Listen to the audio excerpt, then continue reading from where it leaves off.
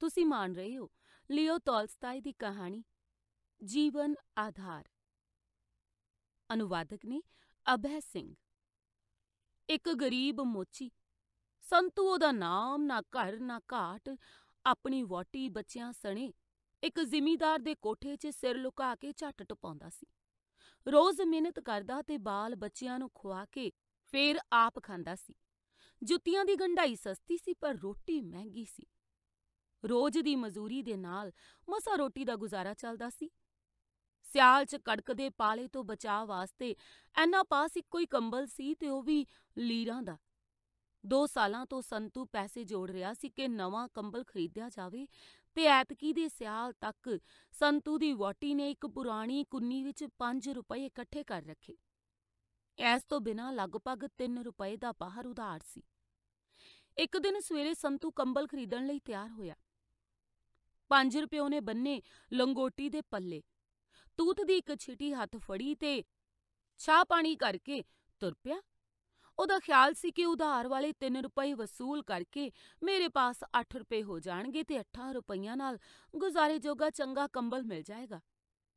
ਪਿੰਡ ਪਹੁੰਚ ਕੇ ਉਹਨੇ ਇੱਕ ਮਕਾਨ ਤੇ ਆਵਾਜ਼ ਮਾਰੀ, ਪਰ ਮਾਲਕ ਘਰ ਨਹੀਂ ਸੀ। ਉਹਦੀ ਤੀਵੀਂ ਨੇ ਆਖਿਆ, ਰੁਪਏ ਅਗਲੀ ਸੰਗਰਾਂਦ ਨੂੰ ਭੇਜ ਦਿਆਂਗੇ। ਇੱਕ ਹੋਰ ਘਰ ਜਾ ਕੇ ਉਹਨੇ ਆਵਾਜ਼ ਮਾਰੀ, ਤਾਂ ਵੀ ਕੇਵਲ ਚਾਰ ਆਨੇ ਇੱਕ ਜੁੱਤੀ ਦੀ ਮੁਰੰਮਤ ਦੇ ਮਿਲੇ। ਹੁਣ ਦੁਕਾਨ ਤੇ ਜਾ ਕੇ ਸੰਤੂ ਨੇ ਕੰਬਲਾਂ ਵਾਲੇ ਨੂੰ ਆਖਿਆ, ਕਿ 5 ਰੁਪਏ ਲੈ ਲਵੋ, ਬਾਕੀ ਮੈਂ ਫੇਰ ਦੇ ਦਿਆਂਗਾ। ਪਰ ਦੁਕਾਨਦਾਰ ਨੇ ਵਿਸਾ ਨਾ ਕੀਤਾ ਤੇ ਨਗਦ ਰੁਪਏ ਮੰਗੇ। ਨਿਮੋਚੂਣਾ ਜਿਹਾ ਹੋ ਕੇ ਵਿਚਾਰਾ ਸੰਤੂ ਘਰ ਨੂੰ ਮੁੜਿਆ ਤੇ ਜਿਹੜੀ ਚੁਆਨੀ ਇਹਨੇ ਉਗਰਾਹੀ ਸੀ, ਉਹਦੀ ਚਾਹ ਪੀ ਲਈ। ਇਲਾਕਾ ਪਹਾੜੀ ਸੀ। ਸਵੇਰੇ ਤੁਰਨ ਲੱਗਿਆਂ ਕੱਕਰ ਜੰਮਿਆ ਹੋਇਆ ਸੀ ਤੇ ਹੁਣ ਵੀ ਵਾਹ ਅੱਤ ਦੀ ਠੰਡੀ ਚੱਲਦੀ ਸੀ। ਪਰ ਸੰਤੂ ਨੇ ਚਾਹ ਦੇ ਗੱਫੇ ਲਾਏ ਹੋਏ ਸੀ। ਮਗਨ ਹੋ ਕੇ ਮਨ ਨਾਲ ਗੱਲਾਂ ਕਰਦਾ ਆਵੇ। ਮੇਰਾ ਚੰਗੇ ਭਲੇ ਮਾਨਸਾ ਨਾਲ ਵਾਹ ਪਿਆ। ਕੰਮ ਕਰਾਉਣ ਵੇਲੇ ਤੇ ਬੜੇ ਉਤਾਵਲੇ ਤੇ ਪੈਸੇ ਦੇਣ ਵੇਲੇ ਹੁੰਦੇ ਨੇ ਅਵੇਸਲੇ। ਹੁਣ ਇਸ ਭਾਈ ਨੇ 3 ਰੁਪਏ ਦੇਣੇ ਨੇ ਤੇ ਚਵਾਨੀ ਚਵਾਨੀ ਕਰਕੇ ਦਿੰਦਾ। ਮੈਂ ਚਵਾਨੀ ਦੀ ਚਾਹ ਪੀ ਲੈਣਾ ਤੇ ਘਰ ਕੀ ਲੈ ਕੇ ਜਾਵਾਂ? ਲੈ ਦੱਸ ਗਰੀਬ ਆ ਇਹਨਾਂ ਲੋਕਾਂ ਪਾਸ ਘਰ-ਬਾਰ ਮਿਲਕ ਜਿਮੀ, ਡੰਗਰ ਸਭ ਕੁਝ ਹੈ। ਪਰ ਮੇਰੇ ਪੈਸੇ ਮਾਰ ਕੇ ਡੱਕ ਲੈਂਦੇ ਨੇ। ਹੁਣ ਘਰ ਜਾਣ ਲੱਗਿਆ ਭਾਵੇਂ ਮੈਨੂੰ ਪਾਲਾ ਨਹੀਂ ਲੱਗਦਾ ਪਿਆ, ਪਰ ਮੇਰੀ ਘਰ ਵਾਲੀ ਤਾਂ ਲਾਲ ਪੀਲੀ ਹੋਏਗੀ ਨਾ। ਕੰਬਲ ਤੋਂ ਬਿਨਾਂ ਐਤਕੀ ਦਾ ਸਿਆਲ ਨਿਭੇਗਾ ਕਿਵੇਂ? ਇਸ ਤਰ੍ਹਾਂ ਮਨ ਦੇ ਉਤਾਰ ਚੜਾਅ 'ਚ ਮਸਤ ਹੋਇਆ ਸੰਤੂ ਟੁਰਿਆ ਜਾਂਦਾ ਸੀ। ਜਦ ਸ਼ਿਵਾਲੇ ਵਾਲੇ ਮੋੜ ਪਾਸ ਪਹੁੰਚਿਆ ਤਾਂ ਵੇਖਦਾ ਕੀ ਐ ਸ਼ਿਵਾਲੇ ਦੇ ਪਿੱਛੇ ਕੋਈ ਚਿੱਟੀ ਜੀ ਬੁਝਕੀ ਪਈ ਐ। ਦਿਨ ਢਲ ਚੱਲਿਆ ਸੀ। ਸੰਤੂ ਨੇ ਨੀਝ ਲਾ ਕੇ ਵੇਖਿਆ ਕਿ ਹੈ ਕੀ। ਅਖੇ ਪੱਥਰ ਵੀ ਨਹੀਂ। ਸ਼ਾਇਦ ਕੋਈ ਢੱਗਾ ਹੋਵੇ। ਪਰ ਢੱਗਾ ਵੀ ਨਹੀਂ। ਇਹਦਾ ਸਿਰ ਆਦਮੀ ਵਰਗਾ ਪਰ ਇਹ ਚਿੱਟੇ ਸਿਰ ਵਾਲਾ ਆਦਮੀ ਇੱਥੇ ਕਿਉਂ ਪਿਆ ਹੈ? ਸੰਤੂ ਨੇੜੇ ਪਹੁੰਚਿਆ ਤੇ ਉਹ ਸੱਚਮੁੱਚ ਆਦਮੀ ਨਿਕਲਿਆ। ਸ਼ਿਵਾਲੇ ਦੀ ਕੰਧ ਨਾਲ ਨੰਗ ਮਲੰਗ ਓਟ ਲਾ ਕੇ ਬੈਠਾ ਸੀ। ਪਤਾ ਨਹੀਂ ਜਿਉਂਦਾ ਸੀ ਕਿ ਮੋਇਆ? ਸੰਤੂ ਦੇ ਮੱਥੇ ਤੇ ਤਰੇਲੀ ਆ ਗਈ। ਪਤਾ ਨਹੀਂ ਕਿਸੇ ਨੇ ਇਹਨੂੰ ਮਾਰ ਕੇ ਨਾ ਇੱਥੇ ਸੁੱਟ ਦਿੱਤਾ ਹੋਵੇ। ਜੇ ਮੈਂ ਇਹਨੂੰ ਛੇੜਿਆ, ਤਾਂ ਡੰਡਾ ਬੇੜੀ ਮੈਨੂੰ ਮਿਲੇਗੀ। ਕੀ ਪਤਾ ਸਰਕਾਰ ਫਾਹੀ ਲਾ ਦੇ? ਇਹ ਸੋਚ ਕੇ ਉਥੋਂ ਟੁਰਦਾ ਹੋਇਆ। ਪੰਜ ਕੁ ਕਦਮ ਪਿਛਾਂ ਜਾ ਕੇ ਉਹਨੇ ਵੇਖਿਆ ਕਿ ਆਦਮੀ ਦੀਵਾਰ ਦੀ ਓਟ ਛੱਡ ਕੇ ਹਿਲਦਾ ਜੁਲਦਾ ਪਿਆ। ਇਹ ਵੇਖ ਕੇ ਹੋਰ ਤਰਪ ਗਿਆ। ਮੈਂ ਜਾ ਕੇ ਉਹਨੂੰ ਬੁਲਾਵਾਂ? ਨੰਗੇ ਮੁੰਗੇ ਆਦਮੀ ਵੀ ਭਲਾ ਕਦੇ ਭਲੇ ਮਾਨਸ ਹੁੰਦੇ ਨੇ? ਮੇਰਾ ਇਸ ਲਫੰਗੇ ਨਾਲ ਕੀ ਕੰਮ? ਨਾਲ ਕੀ ਪਤਾ ਭੂਤ ਹੋਵੇ, ਮੈਂ ਜਾਵਾਂ ਤੇ ਸੰਗੀਓ ਫੜ ਲੈ। ਮੇਰੇ ਪਾਸ 5 ਰੁਪਏ ਵੀ ਨੇ। ਨਾ ਨਾ ਨਾ ਬਾਬਾ, ਨਾ, ਇਹਦੇ ਪਾਸ ਨਹੀਂ ਜਾਣਾ ਚਾਹੀਦਾ। ਇਹ ਸੋਚਾਂ ਸੋਚਦਾ ਸੰਤੂ ਅੱਗੇ ਨੂੰ ਟੁਰ ਪਿਆ।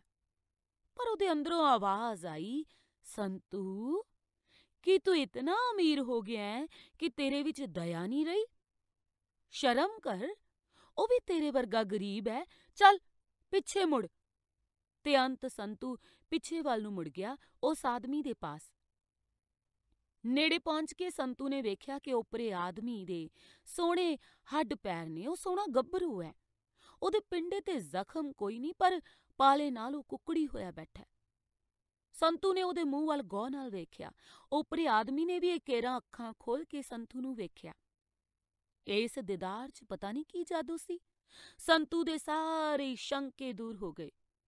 ਉਹਨੇ ਫੌਰਨ ਆਪਣੀ ਚਾਦਰ ਲਾ ਕੇ ਉਹਦੇ ਉੱਤੇ ਦੇ ਦਿੱਤੀ ਤੇ ਬਾਹੋਂ ਫੜ ਕੇ ਉਹਨੂੰ ਪੁੱਛਣ ਲੱਗਾ, ਲੈ ਮਿੱਤਰਾ, ਹੁਣ ਜਿੱਥੇ ਮਰਜ਼ੀ ਆ ਵੀ ਜਾ ਤੇ ਆਪਣੇ ਟਿਕਾਣੇ ਪਹੁੰਚ।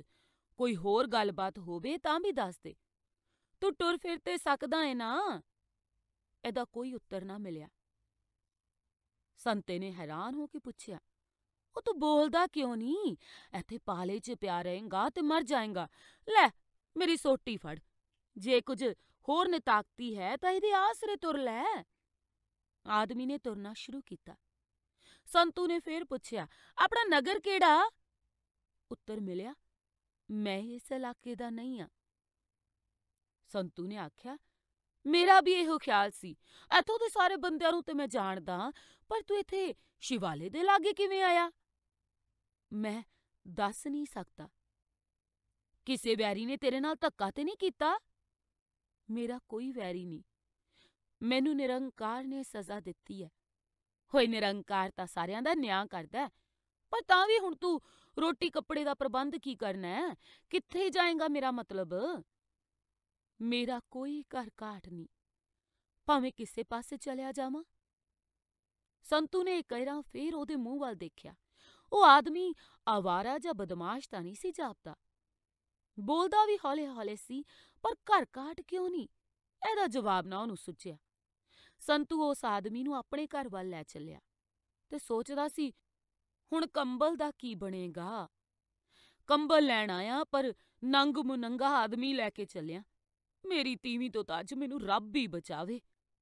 ਜਦ ਤੀਵੀਂ ਦਾ ਖਿਆਲ ਆਇਆ ਤਾਂ ਸੰਤੂ ਦਾ ਮੂੰਹ ਫੱਕ ਹੋ ਗਿਆ। ਪਰ ਜਦ ਉਹਨੂੰ ਸ਼ਿਵਾਲੇ ਪਾਸ ਪਏ ਹੋਏ ਗੱਭਰੂ ਦੀ ਉਹ ਦਿਲ ਖਿੱਚਵੀਂ ਨਜ਼ਰ ਚੇਤੇ ਆਈ ਤਾਂ ਉਹਦਾ ਮਨ ਜਿਵੇਂ ਕਿਸੇ ਰਸਤੇ ਨਾਲ ਭਰ ਗਿਆ। ਸੰਤੂ ਦੀ ਵਹੁਟੀ ਵਿਸ਼ਨੀ ਨੇ ਆਪਣੇ ਮਰਦ ਦੇ ਚਲੇ ਜਾਣ ਪਿੱਛੋਂ ਪਹਿਲਾਂ ਖਾਣ ਪਕਾਣ ਦਾ ਕੰਮ ਮੁਕਾਇਆ। ਫੇਰ ਸੰਤੂ ਦੀ ਪਾਟੀ ਹੋਈ ਕਮੀਜ਼ ਨੂੰ ਟਾਕੀ ਲਾਉਣ ਲੱਗੀ। ਉਹਦੇ ਹੱਥ ਕੰਮ ਵਾਲੇ ਸੀ ਤੇ ਖਿਆਲ ਸੰਤੂ ਵੱਲੇ ਸੀ। ਸੋਚਦੀ ਸੀ, ਜੇ ਹੱਟੀ ਵਾਲੇ ਨੇ ਮੇਰੇ ਮਰਦ ਨਾਲ ਠੱਗੀ ਨਾ ਕੀਤੀ ਤੇ 8 ਰੁਪਏ ਨੂੰ ਚੰਗਾ ਕੰਬਲ ਮਿਲ ਜਾਏਗਾ। ਸੰਤੂ ਬੜਾ ਸਿੱਧਾ ਸਾਦਾ ਉਹ ਆਪ ਕਿਸੇ ਨਾਲ ਧੋਖਾ ਕਰਦਾ ਨਹੀਂ, ਪਰ ਤਿੰਨਾਂ ਵਰਿਆਂ ਦਾ ਐਣਾ ਬਾਲ ਵੀ ਉਹਨੂੰ ਠੱਗ ਸਕਦਾ ਅਸੀਂ ਕੋਈ ਅਮੀਰਾਂ ਵਾਲਾ ਕੰਬਲ ਥੋੜਾ ਲੈਣਾ ਸਾਨੂੰ ਤੇ ਸਿਆਲ ਗੁਜ਼ਾਰਨ ਵਾਸਤੇ ਭਾਵੇਂ ਕੋਈ ਮੋਟਾ ਤੱਪੜ ਹੀ ਮਿਲ ਜਾਏ। ਅੱਜ ਸੰਤੂ ਕੋਈ ਬੜੀ ਸਵੇਰੇ ਨਹੀਂ ਤੁਰਿਆ, ਪਰ ਕੰਮ ਮੁਕਾ ਕੇ ਤੇ ਹੁਣ ਵਾਪਸ ਆਉਂਦਾ ਹੀ ਹੋਏਗਾ। ਕਿਤੇ ਰਾਹ ਵਿੱਚ ਠੇਕੇ ਵੱਲ ਨੂੰ ਨਾ ਤੁਰ ਗਿਆ ਹੋਵੇ। ਬਿਸ਼ਨੀ ਇਹ ਸੋਚਾਂ ਸੋਚਦੀ ਹੋਈ ਕਿ ਬਾਹਰ ਆਦਮੀਆਂ ਦੇ ਆਉਣ ਦਾ ਖੜਾਕ ਹੋਇਆ। ਉਸੇ ਵੇਲੇ ਕਮੀਜ਼ 'ਚ ਸੂਈ ਟੰਗ ਕੇ ਉਹਨੇ ਬਾਹਰ ਵੇਖਿਆ। ਸੰਤੂ ਆਪਣੇ ਨਾਲ ਇੱਕ ਆਦਮੀ ਲਈ ਆਉਂਦਾ ਸੀ ਜਿਹਦੇ ਸਿਰ ਤੇ ਨਾ ਟੋਪੀ, ਨਾ ਪੈਰੀਂ ਜੁੱਤੀ। ਜਦ ਵੇਖਿਆ ਕਿ ਸੰਤੂ ਨੇ ਆਪਣੀ ਚਾਦਰ ਵੀ ਉਹਨੂੰ ਦੇ ਦਿੱਤੀ ਹੈ ਤੇ ਸੰਤੂ ਕੰਬਲ ਵੀ ਨਹੀਂ ਲਿਆਇਆ ਤਾਂ ਬਿਸ਼ਨੀ ਨੂੰ ਪੈ ਗਿਆ ਸ਼ੱਕ। ਕਿਤੇ ਸੰਤੂ 50 ਰੁਪਈਆਂ ਦੀ ਸ਼ਰਾਬ ਪੀ ਕੇ ਆਪਣੇ ਨਾਲ ਕਿਸੇ ਭੁੱਖੇ ਨੰਗੇ ਸ਼ਰਾਬੀ ਨੂੰ ਤੇ ਨਹੀਂ ਲੈ ਆਇਆ? ਬਿਸ਼ਨੀ ਦੇ ਕੋਲੋਂ ਲੰਘ ਕੇ ਦੋਵੇਂ ਅੰਦਰ ਚਲੇ ਗਏ। ਬਿਸ਼ਨੀ ਨੇ ਅੰਦਰ ਜਾ ਕੇ ਵੇਖਿਆ, ਜੋ ਭਰਾ ਆਦਮੀ, ਇੰਨਾ ਜਵਾਨ ਮੁੰਡਾ ਤੇ ਚਾਦਰ ਤਲੇ ਉਹਨੇ ਕੋਈ ਕਮੀਜ਼ ਵੀ ਨਹੀਂ ਪਾਈ ਹੋਈ। ਉਹ ਆਦਮੀ ਅੱਖਾਂ ਨੀਵੀਆਂ ਕਰਕੇ ਖੜਾ ਸੀ। ਬਿਸ਼ਨੀ ਨੇ ਸੋਚਿਆ, ਇਹ ਡਰਦਾ ਜ਼ਰੂਰ ਕੋਈ ਮਾੜਾ ਆਦਮੀ ਹੋਣਾ ਬਿਸ਼ਨੀ ਦੇ ਮੱਥੇ ਤੇ ਵੱਟ ਪੈ ਗਏ ਤੇ ਉਡੀਕਣ ਲੱਗੀ ਕਿ ਕੀ ਆਂਦੇ ਨੇ। ਸੰਤੂ ਕੱਪੜੇ ਲਾ ਕੇ ਮੰਜੇ ਤੇ ਬਹਿ ਗਿਆ ਤੇ ਆਖਣ ਲੱਗਾ, ਬਿਸ਼ਨੀਏ, ਜੇ ਰੋਟੀ ਤਿਆਰ ਹੈ ਤਾਂ ਲੈ ਆ। ਬਿਸ਼ਨੀ ਨੇ ਕੁਝ ਮੂੰਹ 'ਚ ਬੁੜਬੁੜ ਜੀ ਕੀਤੀ ਪਰ ਆਪਣੀ ਥਾਂ ਤੋਂ ਨਾ ਹਿੱਲੀ। ਉਹ ਉੱਥੇ ਹੀ ਖੜੀ ਦੋਹਾਂ ਨੂੰ ਵੇਖਦੀ ਰਹੀ। ਸੰਤੂ ਨੇ ਵੇਖਿਆ ਕਿ ਬਿਸ਼ਨੀ ਹੈ ਗੁੱਸੇ 'ਚ, ਪਰ ਉਹਨੇ ਸਮਾਂ ਟਾਲਣ ਲਈ ਓਪਰੇ ਬੰਦੇ ਨੂੰ ਆਖਿਆ ਵੀ ਮਿੱਤਰਾ ਬੈਠ। ਕੁਝ ਰੋਟੀ ਖਾ ਪੀ ਲਈਏ ਆਪਾਂ? ਪਰਦੇਸੀ ਆਦਮੀ ਮੰਜੇ ਤੇ ਬਹਿ ਗਿਆ ਤੇ ਸੰਤੂ ਨੇ ਫੇਰ ਪੁੱਛਿਆ, ਸਾਡੇ ਵਾਸਤੇ ਕੁਝ ਪਕਾਇਆ ਕਿ ਨਹੀਂ ਭਾਗਵਾਨ? ਹੁਣ ਜੀ ਬਿਸ਼ਨੀ ਆਪਣਾ ਗੁੱਸਾ ਨਾ ਰੋਕ ਸਕੀ। ਆਖਣ ਲੱਗੀ, ਪਕਾਇਆ ਤਾਂ ਹੈ, ਪਰ ਤੇਰੇ ਵਾਸਤੇ ਨਹੀਂ। ਮੈਨੂੰ ਜਾਪਦਾ ਸ਼ਰਾਬ ਨੇ ਤੇਰੀ ਮੱਤ ਮਾਰਤੀ ਹੈ ਨਾ ਗਿਆ ਤਾਂ ਕੰਬਲ ਲੈਣ ਸੈ, ਪਰ ਆਪਣੀ ਚਾਦਰ ਹੀ ਦੇ ਕੇ ਆ ਵੜਿਆ। ਤੇ ਅਨੰਗ ਮਨੰਗੇ ਲਫੰਗੇ ਨੂੰ ਲੈ ਕੇ ਆ ਗਿਆ। ਮੇਰੇ ਪਾਸ ਸ਼ਰਾਬੀਆਂ ਵਾਸਤੇ ਕੋਈ ਰੋਟੀ ਨਹੀਂ। ਉਹ ਬਸ ਕਰ ਬਿਸ਼ਨੀਏ ਐਵੇਂ ਨਹੀਂ ਜ਼ੁਬਾਨ ਮਾਰੀ ਦੀ ਹੁੰਦੀ। ਪਹਿਲਾਂ ਕੁਝ ਪੁੱਛ ਤੇ ਸਹੀ ਨਾ, ਇਹ ਬੰਦਾ ਕੌਣ ਹੈ, ਕਿਹੋ ਜਿਹਾ ਅੱਛਾ, ਉਹ ਮੈਂ ਬਾਅਦ ਚੋਂ ਪੁੱਛੂੰ। ਪਹਿਲਾਂ ਇਹ ਦੱਸ ਜਿਹੜੇ ਤੈਨੂੰ ਰੁਪਏ ਦਿੱਤੇ ਸੀ, ਕਿੱਥੇ ਸੁੱਟ ਕੇ ਆਇਆ ਸੰਤੂ ਨੇ ਪੱਗ ਦੇ ਲੜ ਚੋਂ ਪੰਜ ਰੁਪਏ ਖੋਲ ਕੇ ਬਿਸ਼ਨੀ ਦੇ ਹਵਾਲੇ ਕਰ ਦਿੱਤੇ ਤੇ ਆਖਿਆ, ਮੈਨੂੰ ਉਧਾਰ ਵਾਲੀ ਰਕਮ ਕੋਈ ਨਹੀਂ ਵਸੂਲ ਹੋਈ। ਬਿਸ਼ਨੀ ਨੇ ਗੁੱਸੇ ਦੇ ਨਾਲ ਰੁਪਏ ਚੱਕ ਲਏ ਤੇ ਬੁੜਬੁੜ ਕਰਦੀ ਹੋਈ ਉਹਨਾਂ ਨੂੰ ਇੱਕ ਚਟੂਰੀ 'ਚ ਸਾਂਭ ਕੇ ਰੱਖਣ ਲੱਗੀ। ਫਿਰ ਆ ਕੇ ਆਖਣ ਲੱਗੀ ਮੇਰੇ ਪਾਸ ਤੇਰੇ ਵਾਸਤੇ ਰੋਟੀ ਕੋਈ ਨਹੀਂ। ਅਸੀਂ ਸਾਰੇ ਲਫੰਗਿਆਂ ਨੂੰ ਨਾ ਰੋਟੀ ਦੇਣ ਦਾ ਕੋਈ ਠੇਕਾ ਨਹੀਂ ਲਿਆ ਹੋਇਆ। ਸੰਤੂ ਨੇ ਫੇਰ ਆਖਿਆ ਬਿਸ਼ਨੀਏ ਜ਼ਰਾ ਸੰਭਲ। ਪਹਿਲਾਂ ਦੂਜੇ ਆਦਮੀ ਦੀ ਗੱਲ ਤੇ ਸੁਣ ਨਾ। ਮੈਂ ਜਾਣਦੀ ਆ ਤੇਰੀਆਂ ਗੱਲਾਂ। ਸ਼ਰਾਬੀ ਨਾ ਹੋਵੇ ਤਾਂ। ਮੇਰੇ ਮਾਪਿਓ ਨੇ ਐਵੇਂ ਤੇਰੇ ਲੜ ਲਾਤਾ। ਤੂੰ ਤੇ ਮੇਰਾ ਦਾਜ ਵੀ ਵੇਚ ਕੇ ਖਾ ਗਿਆ। ਨਾ ਹੁਣ ਕੰਬਲ ਵਾਸਤੇ ਜਿਹੜੇ ਰੁਪਏ ਸੀ, ਉਹਦੀ ਚਾਹ ਪੀ ਆਇਆ ਹੋਏਗਾ। ਸੰਤੂ ਨੇ ਦੱਸਣ ਦਾ ਯਤਨ ਕੀਤਾ ਕਿ ਚਾਹ ਸਿਰਫ ਚਾਰ ਆਨੇ ਦੀ ਪੀਤੀ ਹੈ ਇਹ ਨਾਲ ਵਾਲਾ ਬੰਦਾ ਭਲੇ ਮਾਨਸ ਹੈ ਪਰ ਕਿੱਥੇ? ਬਿਸ਼ਨੀ ਕਿੱਥੇ ਸੁਣਨ ਵਾਲੀ ਸੀ? ਉਹਨੇ ਬਾਬੇ ਆਦਮ ਦੇ ਵੇਲੇ ਦੇ ਵੀ ਉਲਾਂਭੇ ਹੁਣ ਕੱਢੇ ਤੇ ਆਪਣੀ ਚਾਦਰ ਵਾਪਸ ਲੈਣ ਲਈ ਬੜੇ ਜ਼ੋਰ-ਸ਼ੋਰ ਨਾਲ ਮੰਗ ਕੀਤੀ। ਸੰਤੂ ਵਿਚਾਰਾ ਚਾਦਰ ਦੇਣ ਲੱਗਾ ਸੀ ਕਿ ਬਿਸ਼ਨੀ ਨੇ ਛਿੱਤੀ ਗਿਦੜੀ ਦੇ ਵਾਂਗ ਆਪ ਖੋ ਲਈ ਤੇ ਚਾਦਰ ਦਾ ਇੱਕ ਸਿਰਾ ਪਾਟ ਗਿਆ।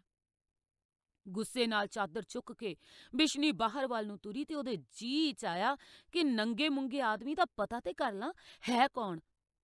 ਫਿਰ ਮੁੜਾਈ ਆਖਣ ਲੱਗੀ, ਹੈ ਕੌਣ ਹੈ ਤੇਰਾ ਕੁਛ ਲੱਗਦਾ? ਜਿਹਨੇ ਕੁੜਤਾ ਵੀ ਨਹੀਂ ਪਾਇਆ। ਜੇ ਇਹ ਭਲੇ ਮਾਨਸ ਆਦਮੀ ਹੋਵੇ, ਤਾਂ ਤੂੰ ਦੱਸਦਾ ਕਿਉਂ ਨਹੀਂ? ਤੈਨੂੰ ਕਿੱਥੋਂ ਮਿਲਿਆ? ਸੰਤੂ ਦੱਸਣ ਲੱਗਾ ਕਿ ਜਦੋਂ ਮੈਂ ਮੰਦਰ ਪਾਸ ਪਹੁੰਚਿਆ, ਮੈਂ ਇਹਨੂੰ ਬਰਫ਼ 'ਚ ਨੰਗੇ ਪਏ ਦੇਖਿਆ। ਐਸ ਮੌਸਮ 'ਚ ਨੰਗਾ ਕੌਣ ਬੈਠ ਸਕਦਾ ਭਲਾ? ਰੱਬ ਨੇ ਮੈਨੂੰ ਇਹਦੇ ਪਾਸ ਭੇਜਿਆ ਨਹੀਂ ਤੇ ਮਰ ਸਕਦਾ ਸੀ। ਮੈਂ ਤੇ ਡਰ ਗਿਆ ਸਾਂ। ਖਬਰੇ ਵਿਚਾਰੇ ਨੂੰ ਕੀ ਹੋਇਆ? ਮੈਂ ਉਹਨੂੰ ਉਠਾਇਆ, ਆਪਣੀ ਚਾਦਰ ਦਿੱਤੀ ਤੇ ਤੋਰਿਆ। ਬਿਸ਼ਨੀਏ, ਕ੍ਰੋਧਵਾਨ ਨਾ ਹੋ। ਆਪਾਂ ਸਾਰਿਆਂ ਨੇ ਇੱਕ ਦਿਨ ਮਰੀ ਜਾਣਾ ਨਾ। ਬਿਸ਼ਨੀ ਗਰਮਾ ਗਰਮ ਜਵਾਬ ਦੇਣ ਲੱਗੀ ਹੋਈ ਸੀ, ਪਰ ਜਦੋਂ ਉਹਨੇ ਓਪਰੇ ਬੰਦੇ ਵੱਲ ਝਾਕਿਆ ਤਾਂ ਉਹ ਚੁੱਪ ਕਰ ਗਈ। ਉਹ ਆਦਮੀ ਮੰਜੇ ਦੀ ਪੈਂਦ ਵੱਲ ਸਿਰ ਨੀਵਾ ਕਰਕੇ ਬੈਠਾ ਸੀ ਤੇ ਉਹਦੀਆਂ ਅੱਖਾਂ ਬੰਦ ਸੀ। ਉਹਦੇ ਮੱਥੇ ਤੋਂ ਤਕਲੀਫ ਹੁੰਦੀ ਪ੍ਰਤੀਤ ਹੋ ਰਹੀ ਸੀ। ਲੱਗ ਰਿਹਾ ਸੀ ਉਹ ਕਿਸੇ ਮੁਸ਼ਕਿਲ ਦੇ ਵਿੱਚ ਹੈ। ਜਦ ਸੰਤੂ ਨੇ ਪੁੱਛਿਆ, ਬਿਸ਼ਨੀਏ, ਤੇਰੇ ਦਿਲ 'ਚ ਨਿਰੰਕਾਰ ਦੀ ਪ੍ਰੀਤ ਕੋਈ ਨਹੀਂ? ਤਾਂ ਬਿਸ਼ਨੀ ਦਾ ਦਿਲ ਅਚਨਚੇਤ ਪਰਦੇਸੀ ਵੱਲ ਨਰਮ ਹੋ ਗਿਆ। ਉਹ ਬੂਹੇ 'ਚ ਮੁੜਾਈ ਤੇ ਚੰਗੇਰ 'ਚੋਂ ਦੋ ਰੋਟੀਆਂ ਕੱਢ ਕੇ ਦੋ ਲੋਟੇ ਲੱਸੀ ਦੇ ਸਾਹਮਣੇ ਰੱਖ ਕੇ ਆਖਣ ਲੱਗੀ, ਲੈ ਖਾਣਾ ਈ ਤੇ ਖਾ ਲਾ। ਸੰਤੂ ਨੇ ਓਪਰੇ ਆਦਮੀ ਨੂੰ ਪਾਸ ਬਿਠਾਇਆ ਤੇ ਦੋਹਾਂ ਰੋਟੀ ਖਾਣੀ ਸ਼ੁਰੂ ਕੀਤੀ। ਜਦੋਂ ਖਾ ਰਹੇ ਸੀ ਤਾਂ ਬਿਸ਼ਨੀ ਇੱਕ ਪਾਸੇ ਵੱਲ ਬੈਠੀ, ਉਹਨਾਂ ਵੱਲ ਦੇਖ ਰਹੀ ਸੀ। ਤਦ ਬਿਸ਼ਨੀ ਦੇ ਦਿਲ 'ਚ ਉਸ ਬੰਦੇ ਦੇ ਪ੍ਰਤੀ ਦਇਆ ਆਈ। ਓਪਰੇ ਆਦਮੀ ਦਾ ਚਿਹਰਾ ਵੀ ਲਿਸ਼ਕ ਉੱਠਿਆ। ਉਹਦੇ ਮੱਥੇ ਦੇ ਵੱਟ ਦੂਰ ਹੋ ਗਏ ਤੇ ਉਹਦੇ ਨੈਣ ਖੁੱਲੇ ਤੇ ਮੂੰਹ 'ਚੋਂ ਮੁਸਕਰਾਹਟ ਨਿਕਲੀ। ਜਦ ਰੋਟੀ ਖਤਮ ਹੋ ਗਈ ਤਾਂ ਬਿਸ਼ਨੀ ਨੇ ਪੁੱਛਿਆ ਤੂੰ ਕਿੱਥੋਂ ਆਇਆ ਹੈ ਓਪਰੇ ਆਦਮੀ ਨੇ ਆਖਿਆ, ਮੈਂ ਇਸ ਦੇਸ਼ ਦਾ ਨਹੀਂ ਆ। ਬਿਸ਼ਨੀ ਨੇ ਪੁੱਛਿਆ, ਸੜਕ ਉੱਪਰ ਕਿਸ ਤਰ੍ਹਾਂ ਆ ਗਿਆ? ਜਵਾਬ ਆਇਆ, ਮੈਂ ਦੱਸ ਨਹੀਂ ਸਕਦਾ। ਕਿਸੇ ਨੇ ਤੈਨੂੰ ਲੁੱਟ ਲਿਆ? ਨਹੀਂ। ਮੈਨੂੰ ਨਿਰੰਕਾਰ ਨੇ ਸਜ਼ਾ ਦਿੱਤੀ ਹੈ ਤੂੰ ਉਥੇ ਨੰਗਾ ਪਿਆ ਸੈਂ ਹਾਂ। ਤੇ ਬਰਫ਼ ਵਿੱਚ ਠਰਦਾ ਪਿਆ ਸਾਂ ਸੰਤੂ ਨੇ ਮੈਨੂੰ ਵੇਖਿਆ ਇਹਦੇ ਮਨ 'ਚ ਦਇਆ ਆਈ, ਇਹਨੇ ਚਾਦਰ ਲਾ ਕੇ ਮੇਰੇ ਉੱਪਰ ਪਾਈ ਤੇ ਮੈਨੂੰ ਨਾਲ ਲੈ ਆਇਆ। ਤੂੰ ਮੈਨੂੰ ਰੋਟੀ ਪਾਣੀ ਦਿੱਤਾ ਤੇ ਮੇਰੇ ਉੱਪਰ ਦਇਆ ਕੀਤੀ ਹੈ ਰੱਬ ਤੇਰਾ ਬੜਾ ਹੀ ਭਲਾ ਕਰੇਗਾ। ਚੰਗਾ ਆ ਲੈ, ਸੰਤੂ ਦਾ ਪੁਰਾਣਾ ਕੁੜਤਾ। ਤੇ ਉਪਰੇ ਆਦਮੀ ਨੂੰ ਉਹ ਦੇ ਕੇ ਉਸਨੇ ਚਾਦਰ ਵੀ ਦਿੱਤੀ ਇੱਕ ਪੁਰਾਣੀ। ਆਖਣ ਲੱਗੀ, ਲੈ ਹੁਣ ਸੌਂ ਜਾ, ਸਵੇਰੇ ਗੱਲਾਂ ਕਰਾਂਗੇ। ਰਾਤ ਨੂੰ ਬਿਸ਼ਨੀ ਨੂੰ ਇਸ ਓਪਰੇ ਆਦਮੀ ਦੇ ਖਿਆਲ ਨੇ ਬਥੇਰਾ ਚਿਰ ਜਗਾਈ ਰੱਖਿਆ। ਸੰਤੂ ਨੂੰ ਆਖਣ ਲੱਗੀ, ਅੱਜ ਸਾਰਾ ਆਟਾ ਮੁੱਕ ਗਿਆ।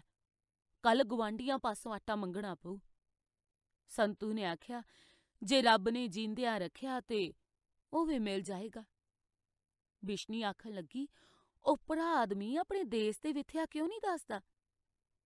ਸੰਤੂ ਆਖਣ ਲੱਗਾ, ਇਹਦਾ ਕੋਈ ਕਾਰਨ ਹੋਣਾ। ਆਪਾਂ ਲੋਕ ਤੇ ਦੱਸ ਦਿੰਨੇ ਆ। ਸਾਨੂੰ ਕਿਉਂ ਨਹੀਂ ਦੱਸਦਾ ਉਹ? ਨਾਲੇ ਆਪਾਂ ਤੇ ਦੂਜਿਆਂ ਦਾ ਇੰਨਾ ਕਰੀਦਾ ਸਾਨੂੰ ਕੋਈ ਕਿਉਂ ਨਹੀਂ ਦੇ ਕੇ ਜਾਂਦਾ, ਸਾਡਾ ਕੋਈ ਕਿਉਂ ਨਹੀਂ ਕਰਦਾ? ਉਹ ਰੱਬ ਸਾਨੂੰ ਵੀ ਤੇ ਦਈ ਜਾਂਦਾ ਬਿਸ਼ਨੀਏ, ਹੁਣ ਮੈਨੂੰ ਨੀਂਦ ਆ ਰਹੀ ਆ ਹੁਣ ਸੌਂ ਜਾ ਬਸ ਤੂੰ। ਸਵੇਰੇ ਜਦ ਸੰਤੂ ਜਾਗਿਆ ਤਾਂ ਬਿਸ਼ਨੀ ਗਵਾਂਡੀ ਪਾਸੋਂ ਆਟਾ ਮੰਗਣ ਗਈ ਹੋਈ ਸੀ। ਉਪਰਾ ਆਦਮੀ ਪੁਰਾਣੀ ਕਮੀਜ਼ ਤੇ ਪੁਰਾਣੀ ਚਾਦਰ ਪਹਿਨ ਕੇ ਮੰਜੇ ਤੇ ਬੈਠਾ ਤੱਕ ਰਿਹਾ ਸੀ। ਕੱਲ ਨਾਲੋਂ ਉਹਦਾ ਮੁਖੜਾ ਅੱਜ ਜ਼ਿਆਦਾ ਖੁਸ਼ ਸੀ। ਸੰਤੂ ਨੇ ਆਖਿਆ ਉਹ ਮਿੱਤਰਾ, ਢਿੱਡ ਰੋਟੀ ਮੰਗਦਾ ਹੈ ਤੇ ਤਨ ਵਾਸਤੇ ਕੱਪੜੇ ਦੀ ਲੋੜ ਹੈ। ਰੋਜ਼ੀ ਕਮਾਉਣ ਵਾਸਤੇ ਕੰਮ ਕਰਨਾ ਪੈਂਦਾ ਤੈਨੂੰ ਕਿਹੜਾ ਕੰਮ ਕਰਨਾ ਆਉਂਦਾ ਏ? ਮੈਨੂੰ ਤੇ ਜੀ ਕੋਈ ਕੰਮ ਨਹੀਂ ਆਉਂਦਾ। ਐਸ ਜਵਾਬ ਤੇ ਸੰਤੂ ਹੈਰਾਨ ਹੋ ਗਿਆ। ਜਿਹੜੇ ਆਦਮੀ ਕੰਮ ਸਿੱਖਣਾ ਚਾਹਣ ਨਾ, ਉਹ ਛੇਤੀ ਸਿੱਖ ਜਾਂਦੇ ਨੇ। ਜਵਾਬ ਆਇਆ, ਆਦਮੀ ਕੰਮ ਕਰਦੇ ਨੇ ਐਸ ਲਈ ਮੈਂ ਕੀ ਕਰਾਂਗਾ? ਸਵਾਲ ਆਇਆ ਤੇਰਾ ਨਾਮ ਕੀ ਹੈ? ਜਵਾਬ ਸੀ, ਹਰੀਦੂਤ। ਸੰਤੂ ਨੇ ਆਖਿਆ, ਅੱਛਾ ਬਈ ਹਰੀਦੂਤ, ਜੇ ਤੂੰ ਆਪਣਾ ਹਾਲ ਚਾਲ ਨਹੀਂ ਦੱਸਣਾ, ਤੇਰੀ ਮਰਜ਼ੀ, ਪਰ ਰੋਜ਼ੀ ਕਮਾਉਣ ਵਾਸਤੇ ਤੈਨੂੰ ਕੰਮ ਤੇ ਕਰਨਾ ਹੀ ਪਏਗਾ। ਜੇ ਤੂੰ ਮੇਰੇ ਆਖੇ ਲਾ ਕੇ ਕੰਮ ਕਰਨਾ ਹੋਵੇ, ਤਾਂ ਮੇਰੇ ਪਾਸੋਂ ਰੋਟੀ ਤੇ ਕੱਪੜਾ ਲਈ ਚੱਲ। ਹਰੀਦੂਤ ਨੇ ਆਖਿਆ, ਰੱਬ ਤੇਰਾ ਭਲਾ ਕਰੇ। ਮੈਂ ਕੰਮ ਕਰਨਾ ਸਿੱਖਾਂਗਾ। ਸਿਖਾਓ। ਸੰਤੂ ਨੇ ਕੁਝ ਧਾਗਾ ਲੈ ਕੇ ਵੱਟਿਆ ਤੇ ਹਰੀਦੂਤ ਨੂੰ ਸਿਖਾਇਆ। ਫੇਰ ਧਾਗੇ ਉੱਪਰ ਮੋਮ ਚੜ੍ਹਾਈ, ਖੰਦੂਈ ਵਾਲੇ ਪਤਲੇ ਧਾਗੇ ਦੇ ਨਾਲ ਜੋੜਨਾ ਤੇ ਚਮੜਾ ਸਿਉਣਾ ਸਿਖਾਇਆ। ਜੋ ਕੁਝ ਸੰਤੂ ਸਿਖਾਉਂਦਾ, ਹਰੀਦੂਤ ਤੁਰੰਤ ਸਿੱਖ ਲੈਂਦਾ। ਤਿੰਨ ਦਿਨਾਂ ਪਿੱਛੋਂ ਹੀ ਉਹ ਐਸਾ ਤੇਜ਼ ਕੰਮ ਕਰਨ ਲੱਗਿਆ ਜਿਵੇਂ ਸਾਰੀ ਉਮਰ ਮੋਚੀ ਰਿਹਾ ਹੋਵੇ। ਰੋਟੀ ਥੋੜ੍ਹੀ ਖਾਂਦਾ ਸੀ ਤੇ ਕੰਮ ਜ਼ਿਆਦਾ ਕਰਦਾ ਸੀ। ਕੰਮ ਖਤਮ ਕਰਕੇ ਚੁੱਪਚਾਪ ਆਕਾਸ਼ ਵੱਲ ਵੇਖਦਾ ਰਹਿੰਦਾ। ਬਾਜ਼ਾਰ 'ਚ ਘੱਟ ਨਿਕਲਦਾ। ਲੋੜ ਅਨੁਸਾਰ ਬੋਲਦਾ ਤੇ ਕਿਸੇ ਨਾਲ ਹਾਸਾ ਮਖੌਲ ਨਹੀਂ ਸੀ ਕਰਦਾ। ਉਹ ਪਹਿਲੇ ਦਿਨ ਤੋਂ ਬਿਨਾਂ ਕਦੀ ਮੁੜ ਕੇ ਮੁਸਕਰਾਇਆ ਨਹੀਂ ਸੀ। ਦਿਨਾਂ ਦੇ ਮਹੀਨੇ ਬੀਤ ਗਏ, ਮਹੀਨਿਆਂ ਦੇ ਸਾਲ ਗੁਜ਼ਰ ਗਏ। ਹਰੀਦੂਤ ਸੰਤੂ ਪਾਸ ਕੰਮ ਕਰਦਾ ਰਿਹਾ। ਉਹਦੀ ਮਸ਼ਹੂਰੀ ਦੂਰ ਦੂਰ ਤੱਕ ਫੈਲ ਗਈ। ਸਾਰੇ ਆਖਣ, ਸੰਤੂ ਦੇ ਨੌਕਰ ਵਰਗੇ ਬੂਟ ਕੋਈ ਨਹੀਂ ਸਿਉਂ ਸਕਦਾ। ਪੰਜ ਪੰਜ 10 10 ਮੀਲਾਂ ਤੋਂ ਬੂਟ ਉਹਦੇ ਪਾਸ ਆਇਆ ਕਰਨ ਤੇ ਸੰਤੂ ਪਾਸ ਕੁਝ ਰੁਪਏ ਜਮ੍ਹਾਂ ਹੋ ਗਏ। ਸਾਲ ਪਿੱਛੋਂ ਇੱਕ ਦਿਨ ਸੰਤੂ ਤੇ ਹਰੀਦੂਤ ਕੰਮ ਬੈਠੇ ਕਰਦੇ ਸੀ ਕਿ ਗਲੀ ਦੇ ਵਿੱਚੋਂ ਇੱਕ ਬੱਗੀ ਦਾ ਖੜਾਕ ਹੋਇਆ ਤੇ ਬੱਗੀ ਸੰਤੂ ਦੇ ਬੂਹੇ ਅੱਗੇ ਆ ਖੜੀ। ਸੰਤੂ ਨੇ ਹੈਰਾਨ ਹੋ ਕੇ ਵੇਖਿਆ, ਬੱਗੀ ਦੇ ਬਾਹਰ ਕੋਚਵਾਨ ਦੇ ਨਾਲ ਇੱਕ ਵਰਦੀ ਵਾਲਾ ਚਪੜਾਸੀ ਸੀ ਜਿਨੇ ਉੱਤਰ ਕੇ ਬੱਗੀ ਦਾ ਬੂਹਾ ਖੋਲ੍ਹਿਆ ਤੇ ਪੋਸਤੀਨ ਪਹਿਨੀ ਹੋਈ ਇੱਕ ਲੰਬਾ ਚੌੜਾ ਸਾਹਿਬ ਸਰਦਾਰ ਬਾਹਰ ਆਇਆ। ਬਿਸ਼ਨੀ ਨੇ ਦੌੜ ਕੇ ਬੂਹਾ ਖੋਲ੍ਹਿਆ। ਸਾਹਿਬ ਬਹਾਦਰ ਸਿਰ ਨੀਵਾ ਕਰਕੇ ਬੂਹੇ ਵਿੱਚੋਂ ਅੰਦਰ ਆਇਆ ਤੇ ਜਦ ਅੰਦਰ ਆ ਕੇ ਉਹ ਸਿੱਧਾ ਖੜਾ ਹੋਇਆ ਤਾਂ ਉਹਦਾ ਸਿਰ ਛੱਤ ਨੂੰ ਲੱਗਦਾ ਸੀ। ਸਾਰਾ ਕਮਰਾ ਉਸੇ ਸਾਹਿਬ ਬਹਾਦਰ ਨਾਲ ਭਰਿਆ ਹੋਇਆ ਜਾਪਦਾ ਸੀ। ਸੰਤੂ ਛੇਤੀ ਛੇਤੀ ਉੱਠਿਆ ਤੇ ਸਲਾਮ ਕਰਕੇ ਖੜੋ ਗਿਆ। ਉਹਨੇ ਸਾਰੀ ਉਮਰ 'ਚ ਕਦੇ ਸਾਹਿਬ ਬਹਾਦਰ ਨੂੰ ਇੰਨੀ ਨੇੜਿਓਂ ਨਹੀਂ ਸੀ ਵੇਖਿਆ। ਸੰਤੂ ਲਿੱਸਾ ਸੀ, ਹਰੀਦੂਤ ਲਿੱਸਾ ਸੀ ਤੇ ਬਿਸ਼ਨੀ ਤਾਂ ਹੈ ਹੀ ਹੱਡੀਆਂ ਦੀ ਮੁੱਠ ਸੀ। ਪਰ ਇਹ ਸਾਹਿਬ ਬਹਾਦਰ ਪਤਾ ਨਹੀਂ ਕਿਹੜੀ ਦੁਨੀਆ 'ਚੋਂ ਆਇਆ ਸੀ। ਲਾਲ, ਸੁਰਖ ਮੂੰਹ, ਚੋਟੇ ਵਰਗੀ ਗਰਦਨ ਤੇ ਸਰੀਰ ਇਉਂ ਜਾਪੇ ਜਿਕੂ ਲੋਹੇ ਦਾ ਹੋਵੇ। ਸਾਹਿਬ ਨੇ ਰਤਾ ਕੋ ਸਾਹ ਲੈ ਕੇ ਆਪਣੀ ਪੋਸਤੀਨ ਲਾਹੀ। ਮੰਜੇ ਉੱਪਰ ਬੈਠ ਗਿਆ ਤੇ ਪੁੱਛਣ ਲੱਗਾ, ਤੁਹਾਡੇ ਦੋਹਾਂ 'ਚੋਂ ਵੱਡਾ ਕਾਰੀਗਰ ਕੌਣ ਹੈ? ਸੰਤੂ ਨੇ ਅੱਗੇ ਹੋ ਕੇ ਸਲਾਮ ਕੀਤੀ ਤੇ ਆਖਿਆ, ਹਜ਼ੂਰ ਮੈਂ ਆ। ਸਾਹਿਬ ਨੇ ਉੱਚੀ ਆਵਾਜ਼ ਨਾਲ ਚਪੜਾਸੀ ਨੂੰ ਬੁਲਾਇਆ, ਓ ਫਰੀਦ, ਹਮਾਰਾ ਚਮੜਾ ਲਾਓ। ਫਰੀਦ ਵਿਚਾਰਾ ਚਮੜਾ ਤੇ ਹੱਥ ਵਿੱਚ ਫੜ ਕੇ ਦੌੜਦਾ ਆਇਆ। ਸਾਹਿਬ ਨੇ ਸੰਤੂ ਨੂੰ ਆਖਿਆ, ਅਰੇ ਮੋਚੀ ਇਹ ਚਮੜਾ तो ਦੇਖੋ? ਕੁਝ ਪਤਾ ਹੈ ਕੈਸਾ ਚਮੜਾ ਹੈ? ਸੰਤੂ ਨੇ ਚਮੜੇ ਨੂੰ ਚੰਗੀ ਤਰ੍ਹਾਂ ਵੇਖਿਆ ਤੇ ਆਖਿਆ ਜੀ ਇਹ ਤੇ ਬੜਾ ਅੱਛਾ ਚਮੜਾ ਹੈ ਹਾਂ ਹਾਂ अच्छा का बच्चा तुम गाऊ का मोची है तुमने सारी उम्र ऐसा चमड़ा नहीं देखा ये बलोचिस्तान से आया है और बीस रुपए कीमत है इसकी जी साहिब हमने कहाँ सारी उम्र में ऐसा चमड़ा देखा है किस्मत कहाँ साहिब ने क्या ठीक है, अब तुम हमारे वास्ते इसका फुल बूट बनाओ। जी, बना देंगा। हाँ बना देगा। याद रखो हम कौन है और ये चमड़ा कैसा है। हम जंगलों का अफसर है और हमारा बूट कलकत्ते में बनता है। देखो ये हमारा बूट एक साल ज़रूर चले, ना इसकी शक्ल बिगड़े और ना टांका उखड़े। अगर तुम बना सकता हो तो चमड़ा लेकर काट दो, अगर नहीं तो कह दो। हम अभी कहता है अगर बूट का शक्ल खराब हो गया या टांका उखड़ गया तो तुमको कैद कर देगा अगर अच्छा बूट बनाया तो हम दस रुपए देगा ਸੰਤੂ ਡਰ ਗਿਆ ਤੇ ਪਿੱਛੇ ਖੜੇ ਹਰੀਦੂਤ ਨੂੰ ਅਰਕ ਮਾਰੀ ਤੇ ਪੁੱਛਿਆ ਕਿ ਕੰਮ ਲਵੇ ਕਿ ਨਾ ਹਰੀਦੂਤ ਨੇ ਆਖਿਆ ਲੈ ਲਓ ਸੰਤੂ ਨੇ ਸਾਹਿਬ ਦੀ ਸ਼ਰਤ ਮਨਜ਼ੂਰ ਕਰ ਲਈ ਤੇ ਸਾਹਿਬ ਨੇ ਆਪਣੇ ਨੌਕਰ ਨੂੰ ਬੁਲਾ ਕੇ ਆਪਣਾ ਖੱਬਾ ਬੂਟ ਉਤਾਰਨ ਦਾ ਹੁਕਮ ਦਿੱਤਾ ਮੇਚਾ ਦੇਣ ਵਾਸਤੇ ਸੰਤੂ ਦੇ ਅੱਗੇ ਲੱਤ ਰੱਖ ਦਿੱਤੀ। ਸੰਤੂ ਵਿਚਾਰੀ ਨੇ ਆਪਣੇ ਹੱਥ ਪਰਨੇ ਨਾਲ ਕਿੰਨੀ ਵਾਰ ਪੂੰਝ ਕੇ ਸਾਹਿਬ ਬਹਾਦਰ ਦਾ ਮੇਚਾ ਲੈਣਾ ਸ਼ੁਰੂ ਕੀਤਾ। ਅੱਡੀ ਤੇ ਪੈਰ ਮੇਚ ਕੇ ਜਦ ਪਿੰਨੀ ਮੇਚਣ ਲੱਗਦਾ, ਉਹ ਬਾਲੇ ਜਿੱਡੀ ਮੋਟੀ ਸੀ, ਕਾਗਜ਼ ਥੁੜ ਗਿਆ। ਸੰਤੂ ਵਿਚਾਰੇ ਨੇ ਦੋ ਕਾਗਜ਼ ਇਕੱਠੇ ਕੀਤੇ। ਸਾਹਿਬ ਆਪਣੀਆਂ ਜੁਰਾਬਾਂ ਦੇ ਵਿੱਚ ਪੈਰ ਹੁਣ ਹਿਲਾ ਰਿਹਾ ਸੀ ਤੇ ਕੋਠੇ ਵਿੱਚ ਬੈਠਾ ਹੋਇਆ ਲੋਕਾਂ ਵੱਲ ਬੜੇ ਰੋਬ ਨਾਲ ਤੱਕ ਰਿਹਾ ਸੀ। ਉਹਦੀ ਨਜ਼ਰ ਪਈ ਹਰੀਦੂਤ ਤੇ, ਪੁੱਛਣ ਲੱਗਾ, ਇਹ ਆਦਮੀ ਕੌਣ ਹੈ? ਸੰਤੂ ਨੇ ਆਖਿਆ, ਹਜ਼ੂਰ ਇਹ ਕਾਰੀਗਰ ਹੈ ਜੀ, ਬੂਟ ਐਸੇ ਨੇ ਸੀਣੇ ਨੇ। ਸਾਹਿਬ ਬਹਾਦਰ ਬੋਲਿਆ, ਦੇਖੋ ਕਾਰੀਗਰ, ਐਸਾ ਬੂਟ ਬਣਾਓ ਕਿ ਇੱਕ ਸਾਲ ਜ਼ਰੂਰ ਚਲੇ। ਸੰਤੂ ਨੇ ਵੇਖਿਆ ਕਿ ਹਰੀ ਦੂਤ ਸਾਹਿਬ ਵੱਲ ਨਹੀਂ, ਪਰ ਸਾਹਿਬ ਦੇ ਪਿਛਲੇ ਪਾਸੇ ਗੁੱਠ ਵਾਲਿਓਂ ਤੱਕ ਰਿਹਾ, ਜੇ ਕੂ ਨੂੰ ਉੱਥੇ ਕੋਈ ਆਦਮੀ ਨਜ਼ਰ ਆਉਂਦਾ ਹੋਵੇ। ਕੁਝ ਚਿਰ ਦੇਖ ਦੇਖ ਕੇ ਹਰੀ ਦੂਤ ਅਚਾਨਕ ਮੁਸਕਰਾ ਪਿਆ ਤੇ ਉਹਦਾ ਚਿਹਰਾ ਚਮਕ ਪਿਆ ਸਾਹਿਬ ਨੇ ਕੜਕ ਕੇ ਆਖਿਆ ਹੈ ਬਲੱਡੀ ਫੂਲ दांत क्यों निकालता है देखो ਬੂਟ ਜਲਦੀ ਤਿਆਰ ਹੋ ਸੰਤੂ ਨੇ ਆਖਿਆ ਜੀ ਹੋ ਜਾਣਗੇ ਹਾਂ ਜਲਦੀ ਫੁੱਲ ਬੂਟ ਬਣਾ ਦੋ ਇਹ ਆਖ ਕੇ ਉਹਨੇ ਆਪਣੇ ਬੂਟ ਤੇ ਪੋਸਤਿਨ ਪਹਿਨ ਲਏ ਤੇ ਕੋਠੜੀ ਚੋਂ ਬਾਹਰ ਨਿਕਲਣ ਲੱਗਾ ਪਰ ਸਿਰ ਨਿਵਾਉਣਾ ਭੁੱਲ ਗਿਆ ਤੇ ਉਹਦਾ ਸਿਰ ਵੱਜਿਆ ਦਰਵਾਜ਼ੇ ਦੇ ਨਾਲ। ਗਾਲਾਂ ਕੱਢਦਾ ਤੇ ਸਿਰ ਮਲਦਾ, ਉਹ ਬੱਗੀ ਦੇ ਵਿੱਚ ਬੈਠ ਕੇ ਚਲਾ ਗਿਆ। ਜਦੋਂ ਤੁਰ ਗਿਆ ਤਾਂ ਸੰਤੂ ਆਖਣ ਲੱਗਾ, ਬਈ ਆਦਮੀ ਦਾ ਕੱਦ ਕਾਟ ਹੋਵੇ ਤੇ ਐਨਾ ਹੈ? ਇਹਨੂੰ ਤਾਂ ਕੋਈ ਹਥੌੜੇ ਨਾਲ ਵੀ ਨਾ ਫੇ ਸਕੇ। ਹਾਂ, ਸਿਰ ਤਾਂ ਦੇਖੋ ਇਹਦਾ। ਬਿਸ਼ਨੀ ਆਖਣ ਲੱਗੀ, ਜੰਗਲਾਂ ਦਾ ਸਹਿਬ ਹੈ ਹੱਟਾ ਕੱਟਾ ਕਿਉਂ ਨਾ ਹੋਵੇ? ਅਜਿਹੇ ਹੱਡ ਕਾਟ ਦੇ ਤਾਂ ਮੌਤ ਵੀ ਨਹੀਂ ਨੇੜੇ ਆਉਂਦੀ। ਸੰਤੂ ਨੇ ਹਰੀ ਦੂਤ ਨੂੰ ਤਾਕੀਦ ਕੀਤੀ ਕਿ ਚਮੜਾ ਬੜਾ ਮਹਿੰਗਾ ਤੇ ਸਾਹਬ ਹੈ ਗੁੱਸੇ ਵਾਲਾ। ਤੇ ਤੂੰ ਆਦਮੀ ਸਿਆਣਾ ਮੇਚ ਦੇ ਅਨੁਸਾਰ ਬਣਾਵੀਂ? ਹਰੀ ਦੂਤ ਨੇ ਸੱਤ ਬਚਨ ਆ ਕੇ ਚਮੜਾ ਕੱਟਣਾ ਸ਼ੁਰੂ ਕਰ ਦਿੱਤਾ। ਬਿਸ਼ਨੀ ਪਈ ਵੇਖਦੀ ਸੀ ਤੇ ਹੈਰਾਨ ਸੀ ਕਿ ਹਰੀ ਦੂਤ ਨੇ ਐ ਨਰਮ ਸਲੀਪਰ ਬਣਾ ਦਿੱਤੇ। ਪਤਾ ਨਹੀਂ ਸਾਹਿਬ ਦੇ ਬੂਟ ਐਸੇ ਤਰ੍ਹਾਂ ਦੇ ਬਣਦੇ ਹੋਣਗੇ।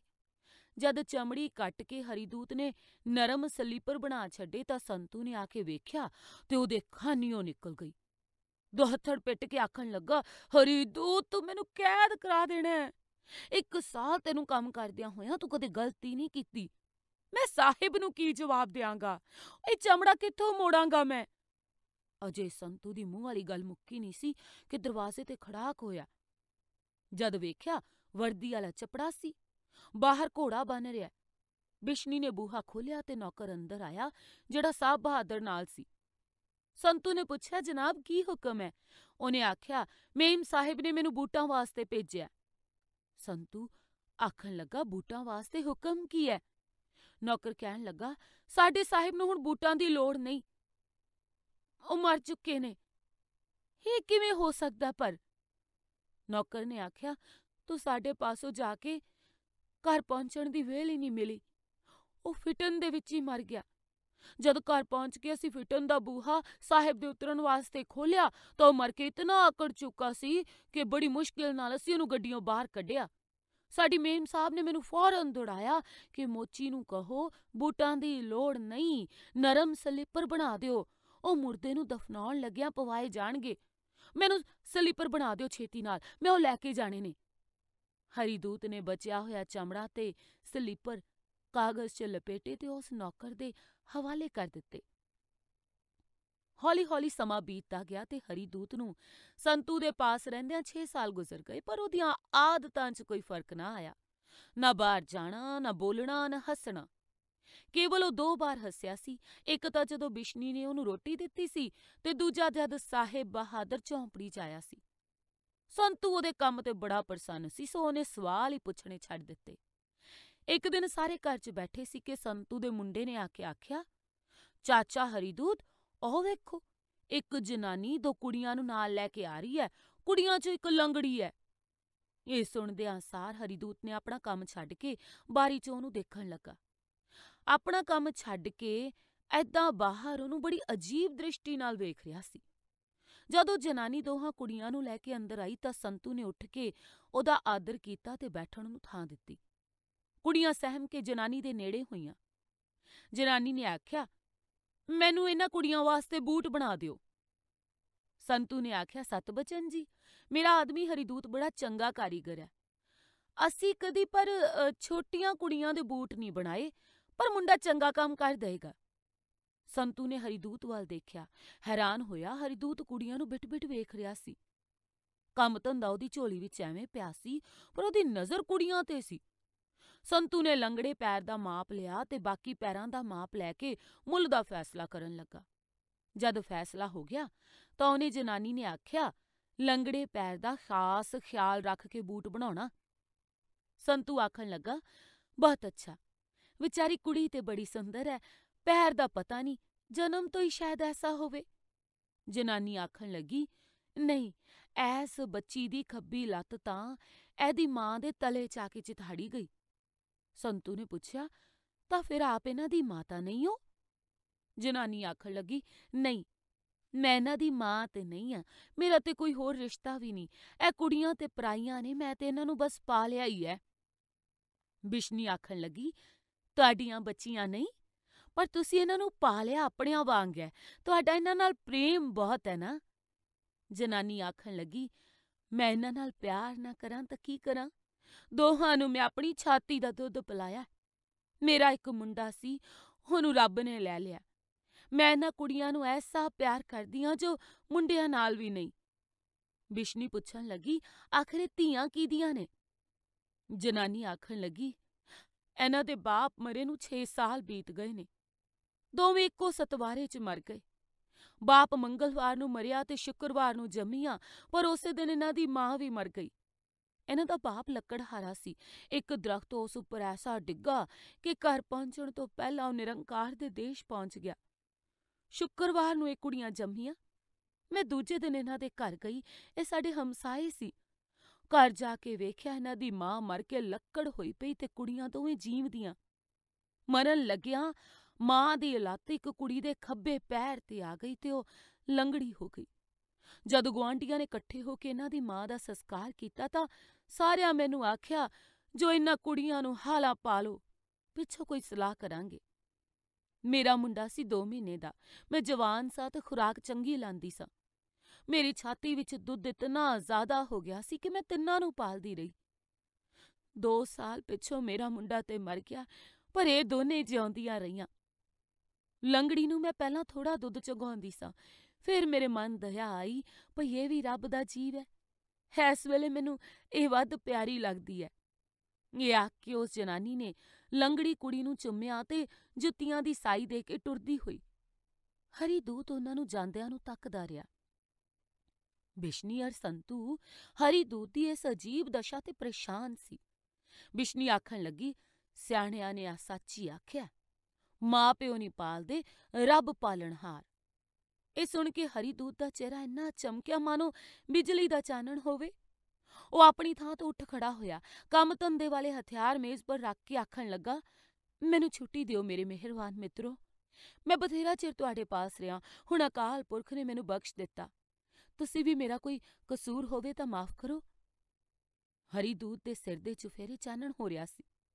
ਸੰਤੂ ਨੇ ਉੱਠ ਕੇ ਹੱਥ ਜੋੜੇ ਤੇ ਆਖਿਆ, ਹਰੀ ਦੂਤ, ਅਸੀਂ ਜਾਣਦੇ ਹਾਂ ਕਿ ਤੂੰ ਐਵੇਂ ਮਾਮੂਲੀ ਇਨਸਾਨ ਨਹੀਂ। ਮੈਂ ਨਾ ਤੈਨੂੰ ਰੋਕ ਸਕਦਾ, ਨਾ ਆਖ ਸਕਦਾ। ਪਰ ਇਹ ਦੱਸ ਮੈਂ ਪਹਿਲੇ ਦਿਨ ਤੈਨੂੰ ਲਿਆਇਆ ਸੀ, ਉਦਾਸ ਕਿਉਂ ਸੈਂ? ਬਿਸ਼ਨੀ ਨੇ ਰੋਟੀ ਦਿੱਤੀ, ਹੱਸਿਆ। ਸਾਹ ਬਹਾਦਰ ਨੂੰ ਵੇਖ ਕੇ ਹੱਸਿਆ ਤੇ ਹੁਣ ਤੀਜੀ ਵਾਰ ਕੁੜੀਆਂ ਵਾਲੀ ਗੱਲ ਸੁਣ ਕੇ ਹੱਸਿਆ ਤੇ ਨਿਰਾ ਚਾਨਣ ਹੋ ਗਿਆ। ਕੀ ਹੈ ਤੇਰੀ ਇਹ ਚਮਕ? ਹਰੀ ਦੂਤ ਨੇ ਜਵਾਬ ਦਿੱਤਾ ਮੇਰੇ ਵਿੱਚ ਚਮਕ ਇਸ ਲਈ ਹੈ ਕਿ ਅਕਾਲ ਪੁਰਖ ਨੇ ਮੈਨੂੰ ਸਜ਼ਾ ਦੇਣ ਪਿੱਛੋਂ ਮਾਫ ਕਰ ਦਿੱਤਾ। ਮੈਂ ਤਿੰਨ ਵਾਰ ਇਸ ਲਈ ਹੱਸਿਆ ਕਿ ਰੱਬ ਨੇ ਮੈਨੂੰ ਤਿੰਨਾਂ ਸਵਾਲਾਂ ਦੇ ਜਵਾਬ ਸਿੱਖਣ ਲਈ ਭੇਜਿਆ ਸੀ। ਮੈਨੂੰ ਉਹ ਪਤਾ ਲੱਗ ਗਏ ਨੇ। ਪਹਿਲੇ ਦਾ ਪਤਾ ਉਦੋਂ ਲੱਗਾ ਜਦ ਬਿਸ਼ਨੀ ਨੇ ਮੈਨੂੰ ਰੋਟੀ ਦਿੱਤੀ। ਦੂਜੇ ਦਾ ਪਤਾ ਤਦ ਲੱਗਾ ਜਦ ਸਾਬ ਬਹਾਦਰ ਝੌਂਪੜੀ ਚ ਚਾਹੀ ਤੇ ਤੀਜੇ ਦਾ ਅੱਜ ਪਤਾ ਲੱਗਾ। ਸੰਤੂ ਨੇ ਪੁੱਛਿਆ, ਹਰੀਦੂਤ ਉਹ ਸਵਾਲ ਕੀ ਸੀ? ਤੇ ਤੈਨੂੰ ਸਜ਼ਾ ਕਿਉਂ ਮਿਲੀ? ਹਰੀਦੂਤ ਨੇ ਆਖਿਆ, ਮੈਨੂੰ ਸਜ਼ਾ ਇਉਂ ਮਿਲੀ ਕਿ ਮੈਂ ਅਕਾਲ ਪੁਰਖ ਦਾ ਹੁਕਮ ਅਦੁਲੀ ਕਰ ਬੈਠਾ। ਮੈਂ ਕਰਤਾਰ ਦਾ ਦੂਤ ਹਾਂ। ਮੈਂ ਇੱਕ ਜਨਾਨੀ ਦੀ ਜਾਨ ਲੈਣ ਵਾਸਤੇ ਜ਼ਮੀਨ ਤੇ ਭੇਜਿਆ ਗਿਆ ਸਾਂ। ਮੈਂ ਧਰਤੀ ਤੇ ਪਹੁੰਚ ਕੇ ਦੇਖਿਆ, ਉਹ ਜਨਾਨੀ ਬਿਮਾਰ ਤੇ ਕੱਲੀ ਪਈ ਹੈ ਤੇ ਉਹਦੇ ਪਾਸ ਦੋ ਸੱਜਰੀਆਂ, ਜੌੜੀਆਂ, ਕੁੜੀਆਂ ਹੌਲੇ-ਹੌਲੇ ਹੱਥ ਪੈਰ ਮਾਰਦੀਆਂ ਸਨ। ਪਰ ਮਾਂ ਪਾਸ ਇਤਨੀ ਤਾਕਤ ਨਹੀਂ ਸੀ ਕਿ ਉਹਨੂੰ ਛਾਤੀ ਨਾਲ ਲਾ ਕੇ ਦੁੱਧ ਚੁੰਗਾਵੇ। ਮੈਨੂੰ ਦੇਖ ਕੇ ਸਮਝ ਆ ਗਈ ਕਿ ਅੰਤ ਵੇਲਾ ਆ ਗਿਆ ਤੇ ਹੱਥ ਜੋੜ ਕੇ ਰੋ ਰੋ ਕੇ ਉਸ ਆਖਿਆ, ਹੇ ਕਰਤਾਰ ਦੇ ਦੂਤ, ਮੇਰਾ ਘਰ ਵਾਲਾ ਪਰਸੋਂ ਮਰਿਆ ਸੀ। ਮੇਰੀ ਨਾ ਕੋਈ ਮਾਂ, ਨਾ ਭੈਣ, ਨਾ ਚਾਚੀ, ਤਾਈ, ਨਣਾਨ, ਭਰਜਾਈ ਕੋਈ ਵੀ ਨਹੀਂ। ਇਹਨਾਂ ਬੱਚੀਆਂ ਨੂੰ ਕੌਣ ਪਾਲੇਗਾ? ਮੈਨੂੰ ਅੱਜ ਨਾ ਮਾਰ, ਮਰਨ ਤੋਂ ਪਹਿਲਾਂ ਮੈਨੂੰ ਆਗਿਆ ਦੇ। ਇਹਨਾਂ ਬੱਚੀਆਂ ਨੂੰ ਦੁੱਧ ਪਿਆ ਕੇ ਤੁਰਨ ਫਿਰਨ ਜੋਗਾ ਕਰ ਦਿਆਂ ਮਾਂ-ਬਾਪ ਤੋਂ ਬਿਨਾਂ ਬੱਚੇ ਕਿਵੇਂ ਜਿਉ ਸਕਦੇ ਨੇ, ਦੱਸ ਭਲਾ। ਮੈਨੂੰ ਉਸ ਜਨਾਨੀ ਤੇ ਤਰਸ ਆਇਆ। ਇੱਕ ਕੁੜੀ ਨੂੰ ਚੁੱਕ ਕੇ ਮੈਂ ਉਹਦੀ ਛਾਤੀ ਤੇ ਰੱਖਿਆ।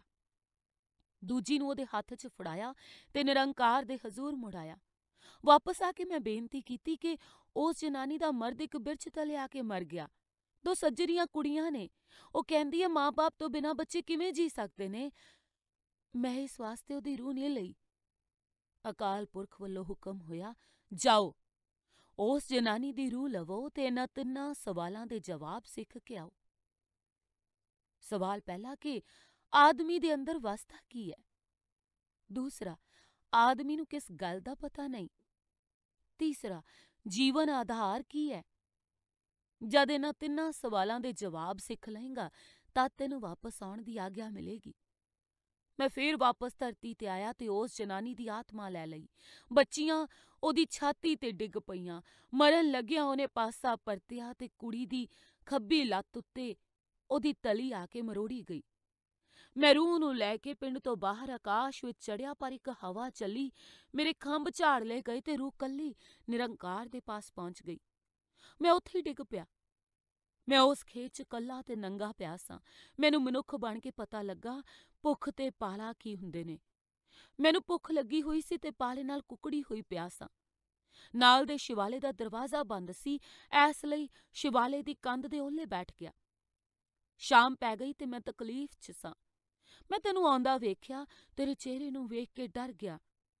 ਤੂੰ ਆਪਣੇ ਬਾਲ ਬੱਚਿਆਂ ਦੇ ਖਾਣ ਪੀਣ ਦੇ ਫਿਕਰ 'ਚ ਸੈਂ। ਮੈਂ ਕਿਹਾ, ਇਸ ਆਦਮੀ ਨੂੰ ਮੇਰੇ ਤੇ ਕੋਈ ਤਰਸ ਨਹੀਂ ਆਉਣਾ। ਪਰ ਜਦ ਤੂੰ ਮੇਰੇ ਵੱਲ ਦੇਖਿਆ, ਤੇਰਾ ਮੂੰਹ ਮੈਨੂੰ ਹੋਰ ਭਿਆਨਕ ਦਿਸਿਆ। ਮੈਂ ਨਿਰਾਸ਼ ਹੋ ਗਿਆ।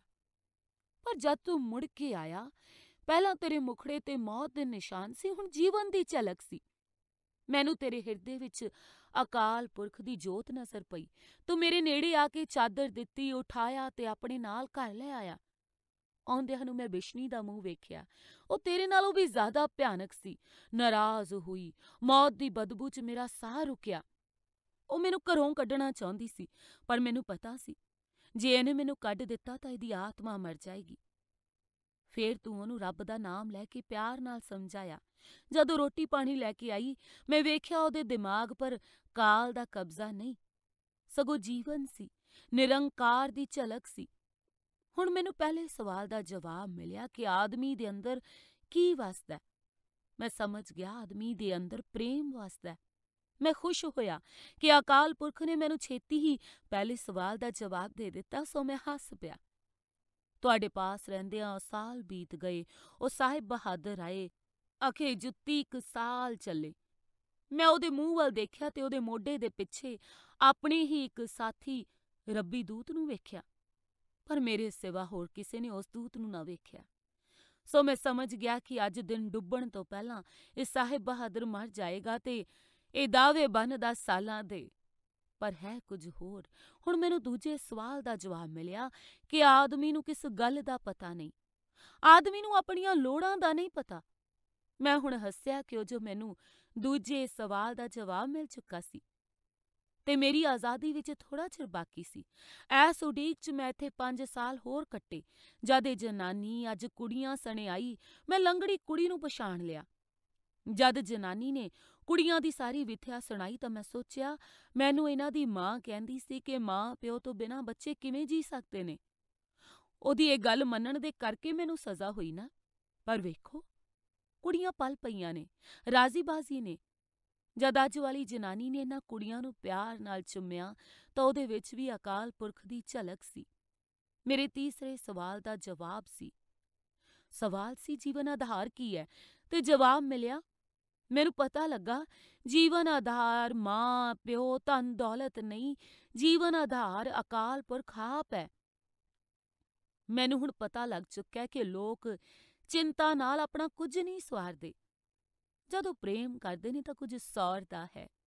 ਉਹਨੂੰ ਮਾਂ ਨੂੰ ਪਤਾ ਨਹੀਂ ਸੀ ਕਿ ਬੱਚਿਆਂ ਨੂੰ ਪਾਲਣ ਵਾਸਤੇ ਕਿਸ ਚੀਜ਼ ਦੀ ਜ਼ਰੂਰਤ ਹੈ। ਸਾਹਿਬ ਬਹਾਦਰ ਨੂੰ ਪਤਾ ਨਹੀਂ ਸੀ ਮੈਨੂੰ ਕਿਸ ਕਿਸਮ ਦੇ ਬੂਟਾਂ ਦੀ ਲੋੜ ਹੈ। ਕਿਸੇ ਬੰਦੇ ਨੂੰ ਨਹੀਂ ਪਤਾ ਕਿ ਸ਼ਾਮ ਨੂੰ ਉਹਨੂੰ ਕੋਟ ਦੀ ਲੋੜ ਪਏਗੀ ਕਿ ਕਫਨ ਦੀ। ਮੈਂ ਜੇਕਰ 6 ਸਾਲ ਇੱਥੇ ਗੁਜ਼ਾਰਾ ਕੀਤਾ ਤਾਂ ਅਕਾਲ ਪੁਰਖ ਦੀ ਦਇਆ ਨਾਲ। ਬੰਦਾ ਬੰਦੇ ਦਾ ਪਾਲਣਹਾਰ ਨਹੀਂ। ਹਰ ਇੱਕ ਜੀਵ ਦਾ ਆਧਾਰ ਆਪ ਪ੍ਰੇਮ ਸਰੂਪ ਅਕਾਲ ਪੁਰਖ ਹੈ। ਇਹ ਗੱਲਾਂ ਕਰਦਿਆਂ ਹੀ ਹਰੀ ਦੂਤ ਦੇ ਖੰਭ ਲੱਗ ਪਏ, ਛੱਤ ਪਾਟ ਗਈ ਤੇ ਉਹ ਆਖਦਾ ਹੋਇਆ, ਆਕਾਸ਼ ਵੱਲ ਨੂੰ ਉੱਡ ਗਿਆ। ਸਾਚ ਕਹੋ ਸੁਨ ਲੈ ਸਭੈ ਜਿਨ ਪ੍ਰੇਮ ਕੀਓ ਤਿਨ ਹੀ ਪ੍ਰਭ ਪਾਇਓ ਸਾਚ ਕਹੋ ਸੁਨ ਲੈ ਸਭੈ ਜਿਨ ਪ੍ਰੇਮ ਕੀਓ ਤਿਨ ਹੀ ਪ੍ਰਭ ਪਾਇਓ ਤਿਨ ਹੀ ਪ੍ਰਭ ਪਾਇਓ